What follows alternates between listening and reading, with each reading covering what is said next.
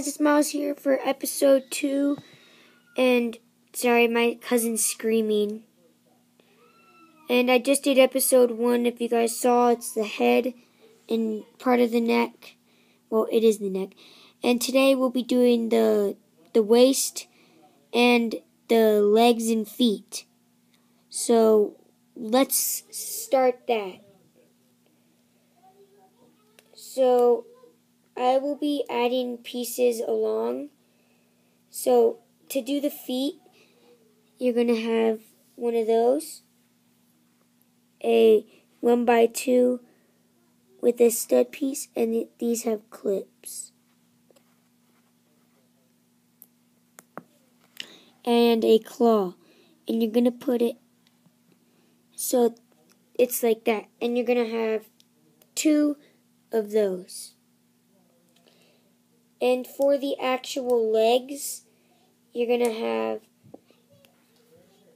two of these,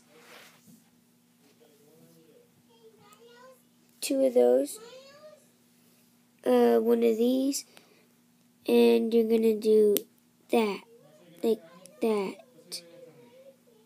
And then you're going to have two of those.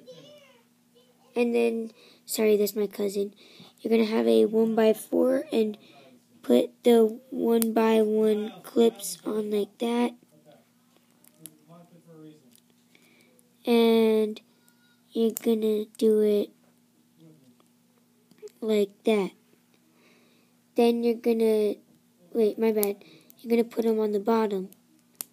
So it's like this. Yeah, that's how it goes. Then you're gonna take it and put it the feet on like that. Then you have the legs. And they're about as tall as a minifigure. Thanks for watching my part 2 video on how to build a Lego Velociraptor. And I'll see you guys in the next one.